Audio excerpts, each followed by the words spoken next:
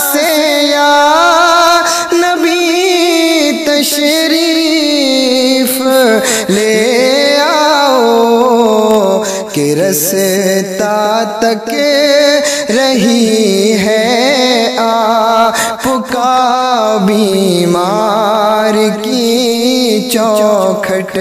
रमज़ानुल मुबारक, ये इतनी बरकतों वाला महीना है कि इस महीने में अल्लाह रब्बुल इज़्ज़त ने कुरान अज़ीम को नाजिल फरमाया।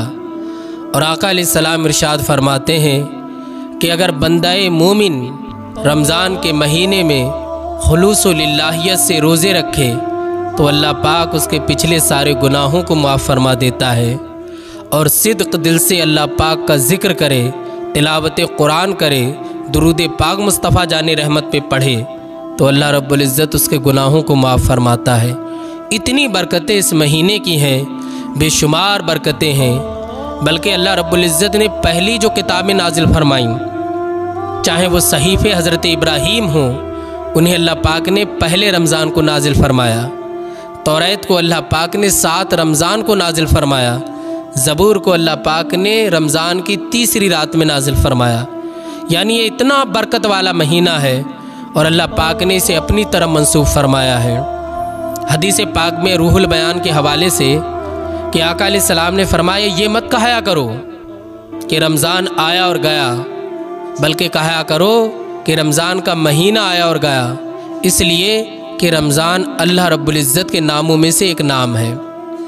रमज़ान को बेअदबी से मत कहो कि आया और गया, बल्कि अदब से नाम लो, महीने की तरफ़ इसकी नस्बत करो, इसलिए कि ये गुनाहों को जलाने वाला है, गुनाहों को ख़त्म करने वाला है रमज़ान के माना आते हैं जला देना।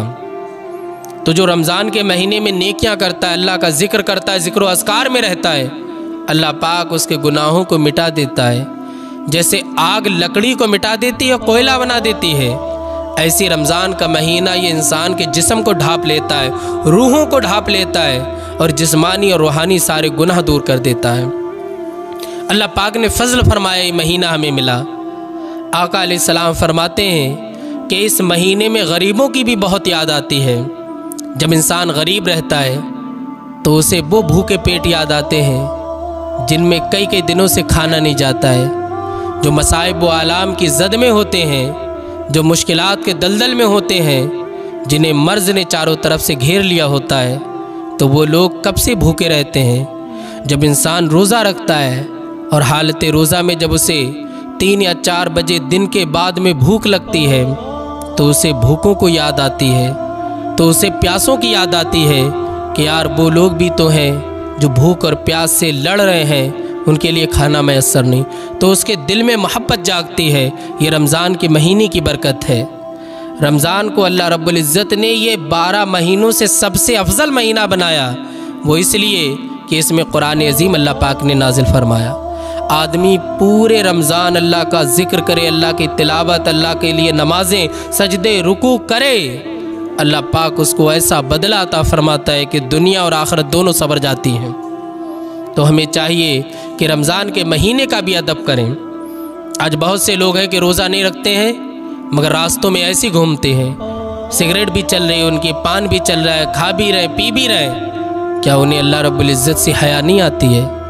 कि वो भी तो मोमिन हैं, कि जो रोज़े में हैं। अल्लाह को राज़ी करने में लगे हैं, भूखे हैं, प्यासे हैं। वो तो नहीं रास्तों में खा रहे।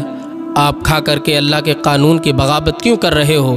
हालाँकि जब रोज़दार प्यासा होता है और उसके जिसम से और उसके मुँह से जो बू आती है, अल्लाह रब्बुल इज़्ज़त को वो मुश्को अंबर से भी ज़्यादा अज़ीज़ तर है।